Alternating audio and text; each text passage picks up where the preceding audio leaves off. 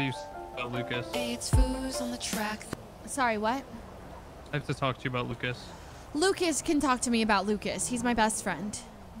Well, it's What? he just What? won't stop flirting with me. And That's not news to anybody. What? He's the damn flirt. yeah. Yeah, but he just sends me mixed signals all the time, and I don't know what to think. Hmm. You're just talking about Lucas here with nothing new.